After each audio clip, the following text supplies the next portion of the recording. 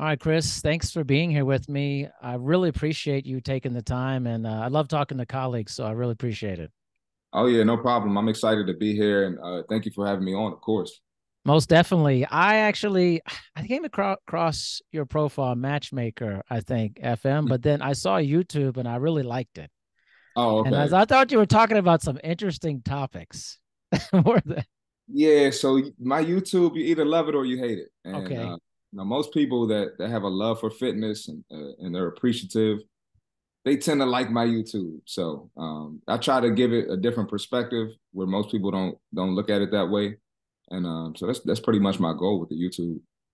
Well, I really, I like was really resonating with that because a lot of times when I do talks and stuff, I try to give a very different perspective on the business mm-hmm. and different things. Like I'll tell you one thing I thought was funny, but I was like, I'm totally with this about like what people are wearing at gyms, especially when like, oh. you know, or let's say like when, just be honest, like when, especially when women may wear things that are overly revealing.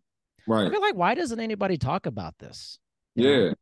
Yeah. I, I, think we've gotten to a point in society where, uh, you know, we let things go.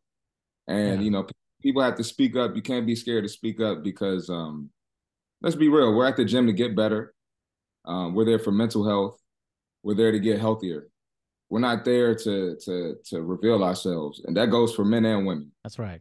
And you know, as focused as you are, you know, as locked in as you could be, it's hard not to see that. You know, if you see yeah. somebody with, with a certain body part out, and then in my gym and a lot of gyms across the country, you got kids training. Um, kids training for sports, they train for weight loss, and some of them just just train like you know general general population clients.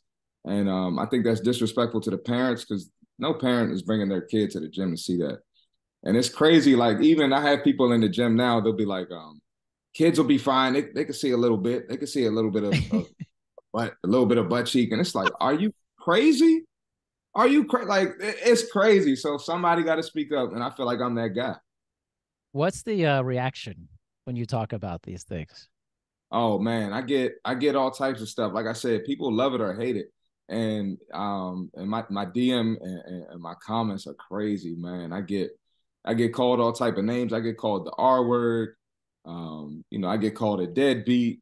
I get mm. called typical trainer because you know male trainers we get a bad rap uh, because of the you know the, the you know guys in the industry unfortunately. Yeah.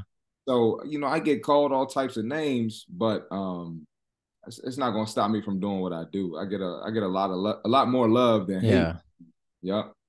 So what do you think it is like with uh I've been in the business a long time and you know people are always kind of dressed up or wore different things in the gym but like what is different about now? Is it the social media aspect of things? Like I always see people doing selfies and stuff like that and or like is it like going to the gym to be noticed?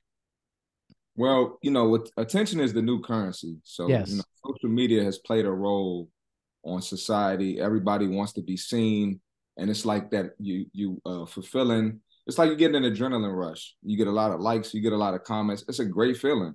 Like you know, I've I've had posts go viral, and I, I feel accomplished. I feel good about yeah. myself. So I understand that, but you want to be getting attention for the right things, and you know, the internet is forever.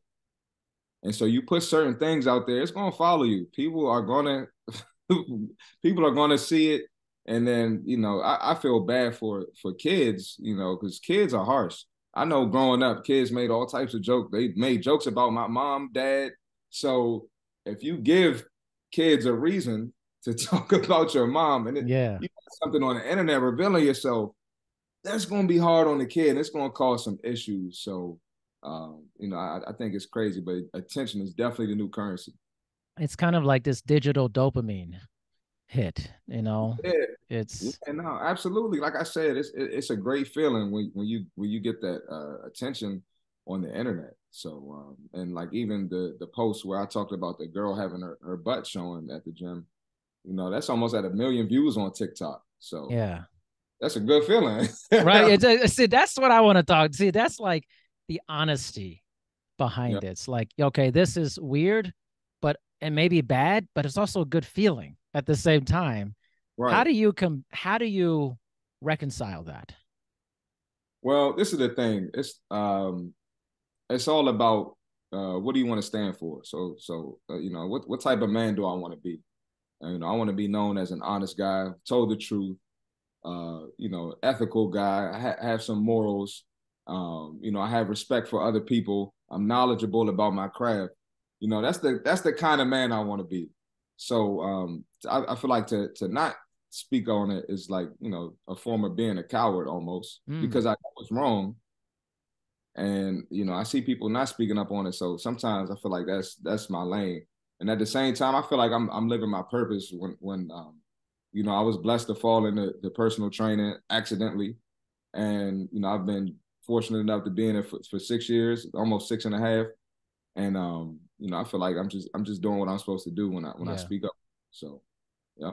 Is it hard to stay on the path that you're on when certain types of videos or things feed that dopamine hit and if maybe if it's not exactly what you want it to be um you mean for myself or like yeah for yourself or just anyone like to say like maybe you put out a video that's like so like big video and you're like this is kind of not what i'm trying to do but it got big you know um well yes and no i kind of i kind of want my stuff to get out there uh, yeah. because obviously like I said, it's cool to get the attention, but I feel like there's a bigger message behind it.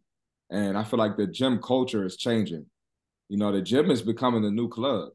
And it's true, man. it's crazy. And as personal trainers, as fitness coaches, I feel like we're like, in a sense, we're superheroes, kind of. You know, we change lives, we save lives. And if it continues to become the club, that's going to diminish what we do for people. Mm yeah, it's going to diminish, um, you know, the clients that we've helped, the clients that love us till this day, the clients that continue to come to us because we changed their lives and made an impact on them. People don't see that. And even with some of my videos, I, I get real controversial for anybody that's watching this that, that doesn't that doesn't know me. I get real controversial. People think I just do the stuff for engagement and, right. and attention, but at the same time, now I'm, I'm bringing attention to real issues um, you know, like just you know, a couple recent topics I talked about, just the one we just mentioned. Mm-hmm. I've been wearing revealing clothing. I talk about steroids. I talk about alcohol. Um, you know, I talk about a lot of things that hit people hard. Yeah. So it's um yeah, it's it's it's tough.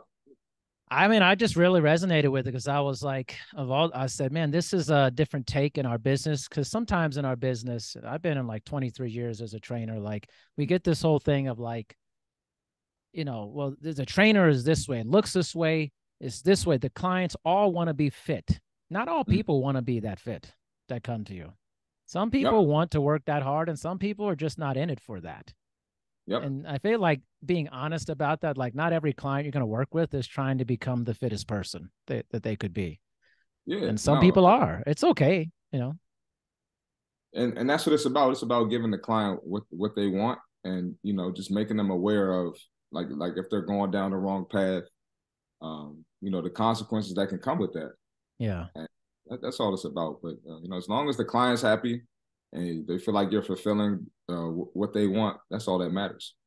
But you mentioned about I was laughing about the the gym becoming like the club. Besides the dress code, what are some other things that's making the gym become the club potentially? Man, oh man, we can talk about this all day. uh, you know, you have people in there to hang out. You have people not really working out, and um, you know, I deal with this. I, I told this yesterday you know, I'm in the gym. I had to work out in the evening. Um, usually I work out in the, in uh, you know midday when the gym isn't crowded. But I had a busy day, so I had to go in the evening. And you just got people in there talking, want to shake hands, talk about sports. You know, I was stretching the other day. I had a dude coming up to me complaining about a woman in the gym, and she got some guy's number, and it's like, bro, what? Come on, we here. oh, come on, man. Um, but it just is it's centering around people just not being focused on on what the gym is for. Um, you got people, you know, with the tripods posting on social media. Like I'll be training my clients, and there's one girl, she'll have the tripod and her phone up and be in the camera, like she'll do a sprint and then start dancing. and, the, and, the, and, it's like it's like yo, t- I'm all for people shooting their content. Sure. Want to post it? I'm fine with that. But you dancing, not now. You come on now That's not literally dancing, man. So, um, yeah, it, it's, it's it's getting crazy. I see all types of stuff in the gym, but uh, you know, if I if I can make an impact and I can yeah. impact other trainers to to bring the, the real gym culture back, I'm all for it. Yeah, it's like club issues coming into the gym. it's like yeah. you know beef and stuff, and like uh, you know people hitting on each other, whatever, like that. It's like, uh, but it, is it also that people are more dis- like they're distracted at the at the gym too? A lot of people I feel are very distracted. Like they're not they're not actually taking in what they're going to be doing. They're just being distracted there. Yeah, yeah, and um, the, yeah, they're definitely distracted, and a lot of people go just to say they went. Like it's know, true. crazy. I see so many guys, the guys and the girls. I see so many go, and their body has been the same since yeah. before the pandemic. Yeah, yeah, yeah. you know, so it's like if people locked in and they had that purpose, and it's like I'm gonna come in here, I'm gonna give maximum effort. I'm gonna do my cardio. I'm, I'm gonna lock in, not gonna talk, and I'm I'm gonna eat clean when I leave. I, I just feel like things would be different. I mean, how can the how can the gyms do better at promoting let's say a healthier gym culture? Mm-hmm. Um, well, one the the dress code. it's a big topic, man, for sure. Yeah, definitely the dress code. Um, that's a good question. I've never been asked that. You called me on the spot. Yeah, man. Putting your weights back. You know, if, if gym yeah. said, you know, somebody, you know, actually walking around and there was, you know, consequences for not putting your weights back. That'd be a big yeah. thing. Uh, guys, you know, being inappropriate towards girls. Mm. If they were reported, you, you ban from the gym. Right. Uh, you know, because some some some guys do some crazy stuff in the gym. I've got, you know, I train mostly women, so I hear stories. Yeah. And um, yeah, those those are probably three things. I think that would change the gym culture, uh, make people be a little bit more serious in there. Obviously, it's not gonna, you know, fix everything, but uh, it could be a start. I know you mentioned about people having content and posting and things of that nature, but where, where does that cross the line? Like I, I've, for instance, like I've seen things where people are like, listen, I don't want to be in your video. And then you'll have enthusiasts, whatever, will be making fun of other people in their own video that they're mm-hmm. not working hard. Like that just seems cruel to me. You know, it's like they didn't ask to be in your video. You know? Yeah. No, I, I, I think that's definitely a problem. That's definitely crossing a boundary. Um, I think a lot of times with the with the women, just you know, having having their butt all in the camera. Yeah. It's like you know, if you're performing a squat, obviously we're gonna see something, but sure, you, you know what's overboard. Guys in there, you know, just just with their shirt off. The shirt off, yeah, I see that a lot. Yeah, not real. And it's one thing if you you know you took your shirt off to and you did um, you know, something that was hard, and accomplished, you know, you want to show your back muscles on pull-ups. Okay, but sometimes, I mean, you want to do a burpee backflip, do a leg raise, like, bro, you know, come on, man, like you just want attention at this point. Uh, but yeah, man, it's it's there's definitely um, crossing the boundary. I'm trying to think of some more. Um, but yeah, I'm I'm not a fan of uh, making fun of people at all because no, you know, it, it, takes a lot to to go into the gym. A lot of people, it can be an intimidating place, you yes. know. So you might have, you know, a, a bigger person in there or an yeah. older person in there who quote unquote doesn't belong, but the fact that they're making the effort, got to commend them for it.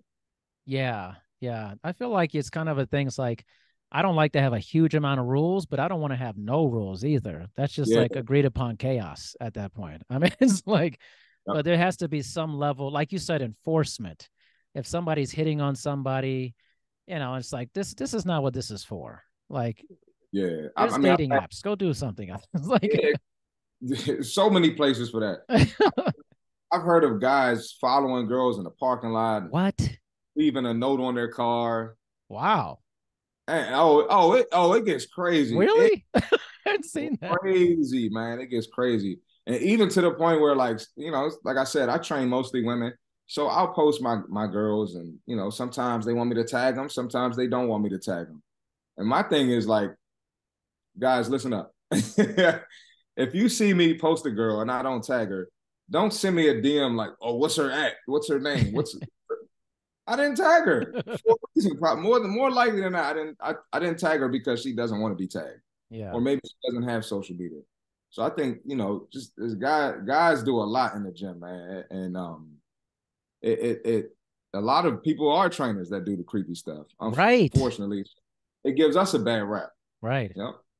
Wow, man. So you said that you kind of, uh, kind of accidentally or kind of you got into training. It maybe it wasn't your main thing mm-hmm. you were thinking of. Tell me a little bit about that. How you worked your way into the business.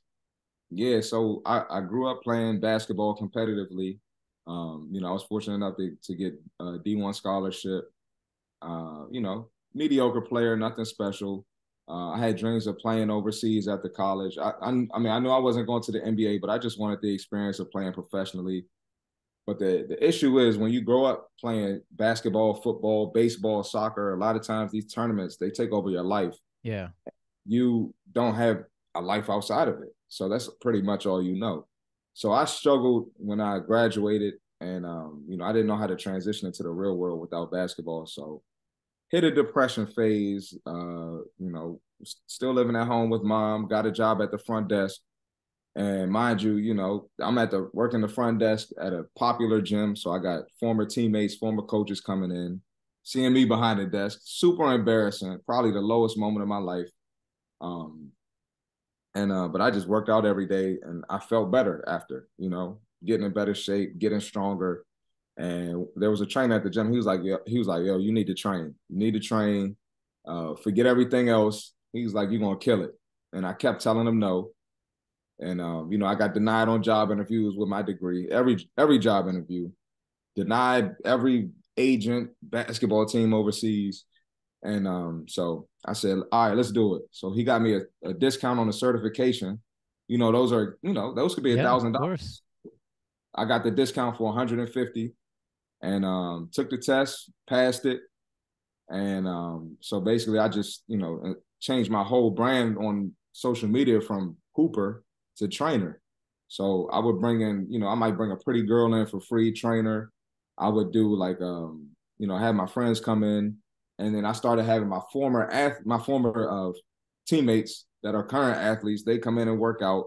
So they would bring their family members, mom, dad, brother, sister, cousins, and I pretty much built the business off of my basketball network.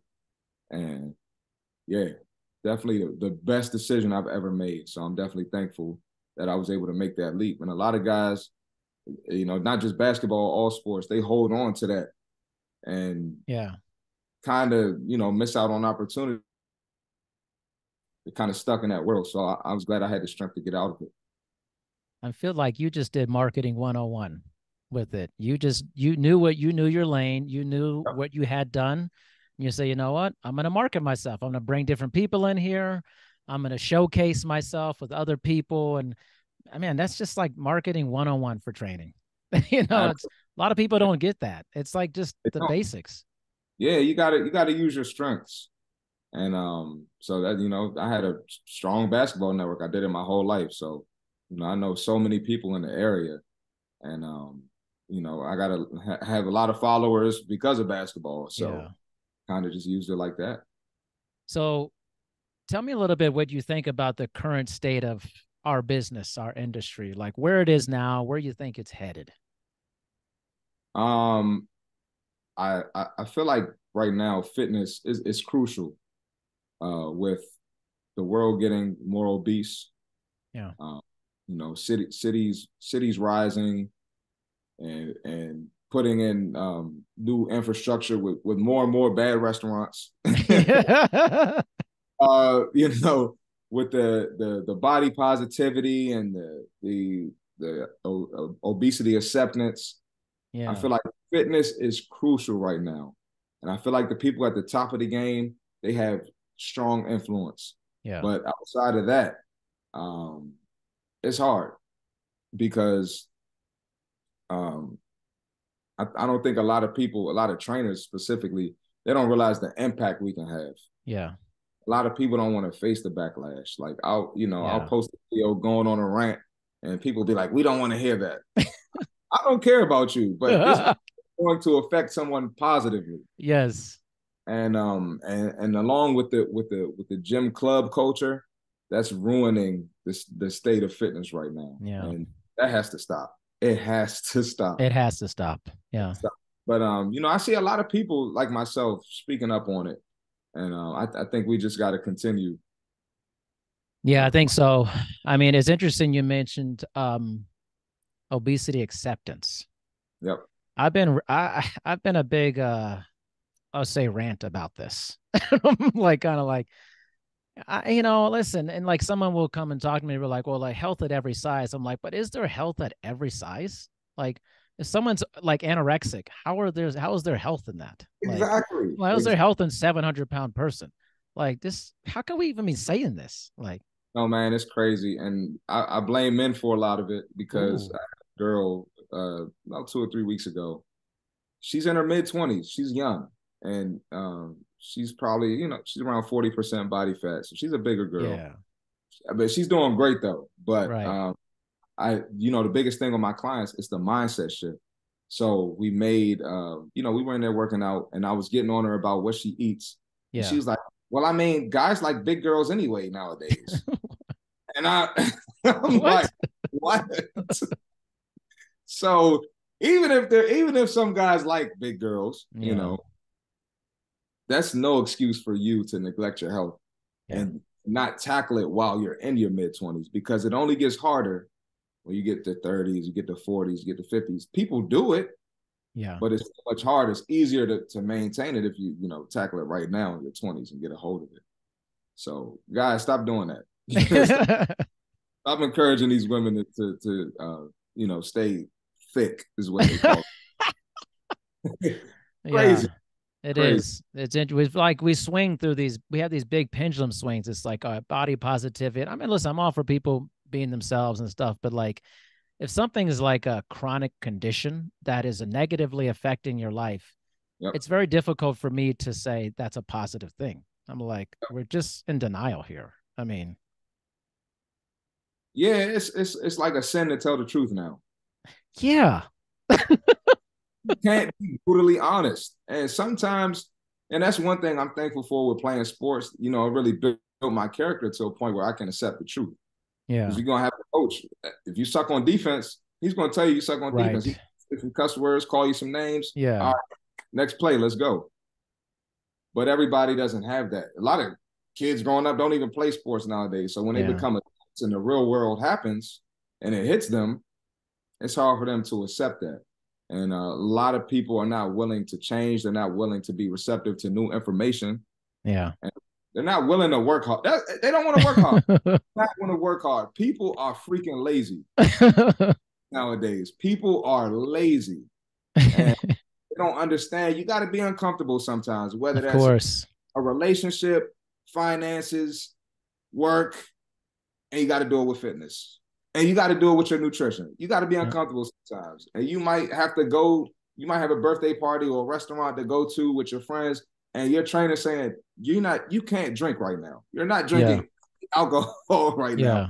Go have fun, but no alcohol. Yeah, and people can't. They can't understand that. It was interesting. I just had a talk, um, and it was one of us like reframing exercises, self care. It was part of it. I was just hosting it but I was saying how like, you know, we got to reframe like like everything can't be about joy. Like exercise is not always joyful. Yep. But we're always telling people do something you love to do, do something you enjoy. Okay, listen. I mean, yeah, there's some of it, but is it going to actually improve the different parameters of fitness for you? Yep. And I like to dance, but doesn't mean that I'm improving all, you know, my it's like it's like exactly. you know what I mean? It's like you're going to have to be have discomfort to improve. And I think we're trying to tell people just do stuff you like to do that's not that challenging. Yeah. Okay, if that's what you're trying to do, I mean, come on. Yeah, if you if you look at the benefits of building muscle over your lifetime, yeah. Eh, you realize it's it's necessary, you know. Yes. Better for you as you as you get older, right? So it might not be comfortable, but if I want to be the best I can be in my 30s, 40s, 50s, 60s, I'm going to have to build some muscle. Yes. no, so it's just that's that's just that's just um, one example of it. But um, yeah, you definitely gotta gotta get used to to being uncomfortable. And I train a lot of moms, and I I I love making analogies with the moms. I might say something like, "You went through childbirth, right? This that didn't feel good. yeah. Something beautiful came from it. That's true. so That's true. same thing with with with fitness, you know, or you know they might have a long day with the kids and yep. they don't want to take them to practice. They don't want to take them to tutoring, but you're going to get it done because that's what the kid needs. So it's the same with fitness. You got to take care of yourself too. Most definitely. So I think mm-hmm. these are kind of like challenging the status quo. of like just do something you like, like, but but like, what will you improve though? Like I'm just like that, and that's my whole thing is like let's stop making everything so comfortable for people all the time. Again, that's a very anti convenience conversation. Yeah. But it's like it can't always there's a point where you over optimize where this becomes detrimental if it's too um convenient for people, you know. Yeah, this is this is gonna uh people are gonna hate me for this, but um, but uh, you know, I see a lot of uh twerk classes, you oh, know, yeah, yeah. promoted as fitness. Yeah. And you know, let's let's be real. A lot of the, the people in those classes are not fit, and you know they they need to learn about nutrition. They need to learn about you know lifting weights. They need to learn about steady state cardio. Yeah, need to learn about these things, and that isn't doing it. And the thing that's messed up is a lot of in their mind they're like, oh, I I did my fitness fulfill, fulfillment for yeah. the week. I, I I broke a sweat. I burn some calories and they thinking they're doing something. And it's yeah. like, that's not what you, um, you know, I, I see all types of stuff like that. But, uh, it's just like the lack of education and fitness, you know, yeah. around the country, all races and both, you know, all races, the genders, both genders. Sure. It's, it's, it's, there's, there's a lack. It's crazy. Yeah. yeah. And then when you're getting information from, questionable resources potentially and online and different things. So I'm curious your thoughts about influencer culture and fitness and uh, how you see that currently. Man, it's it's uh it would be a lot better if we had influencers because a lot of influencers they'll do they'll take years to get their results and then you know they'll get their they'll get a bomb body and just just lie to people for a quick buck and, and, yeah. and sell a dream unfortunately and it's a great model because people are desperate to lose weight. They want a quick result. They don't understand that, hey, you have been having crappy habits for two decades, three yeah. decades. It's not going to take 30 days to reverse it. yeah. It's not going to take that. Sorry. And people hate to hear it. And then another thing influencers do, you know, like I, I did that steroid episodes. A lot of a lot of people are dying from um, taking steroids. Yeah. And then um, a few of like my favorite influencers, I was, you know, heartbroken to find out that, you know, they're on testosterone replacement therapy. Yeah. You know, which is fine. I mean, I, I I'm let me take that back. It's not fine. But if you can afford it, I mean, do what you want to do, man. It, it's, it's yeah. your body. But don't try to uh, tell tell someone, hey, you need to eat better. You need to do this and that, this and that. And it's easier for you with the testosterone replacement. Yeah. Um, I think it's very toxic. But um, you know, you have myself and there's another guy on Instagram. It's, his name is like Goob to you, G O O B. I'm not sure if you're familiar with him, but no. he puts everybody on blast. I mean, oh. like three times a day. three times a day. Not, I'm not joking. Like he puts everybody on blast. So um, you know, people are starting to wake up. I think so. Yeah, it's you know, people just getting more savvy and understand these results. You know, take a long time to get in really good condition. Yep. You know, nothing, but it's you know kind of the old thing is the snake oil salesman. It's like, hey, I'm gonna use this platform to further my influence and pocket, and people are desperate, and I'm gonna I'm gonna prey on their desperation, uh, for people's desire for the quick fix. Yeah.